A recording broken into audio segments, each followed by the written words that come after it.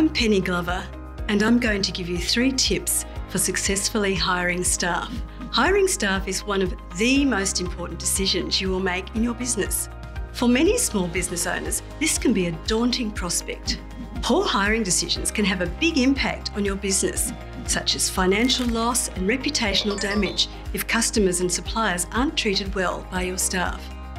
Your employees represent your business and are a critical part of its success, so it's important to get it right.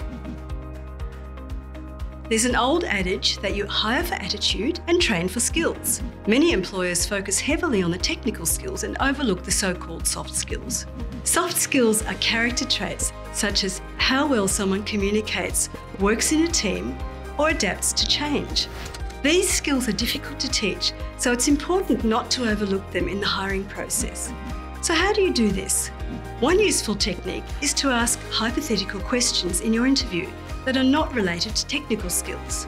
Their responses could provide insights into how they behave under pressure, their initiative, and ability to solve problems. When writing a position description, analyse the role and break it down into its components based on your needs for the business. Give each component a weighting of importance and list the technical skills and soft skills that are required. Apart from clarifying to yourself and to the candidate what the requirements of the job are, your position description will be helpful for performance appraisals later. We all have biases, whether we like to admit it or not, but there are a few simple things you can do to make your hiring process fair. Ask each candidate the same questions and use an interview scorecard that grades their responses on a defined scale. Evaluate the candidates' applications focusing on their skills and experience. You could ask candidates to solve a work related problem or take a skills test. This will allow you to assess the quality of their work rather than judging them on personal information.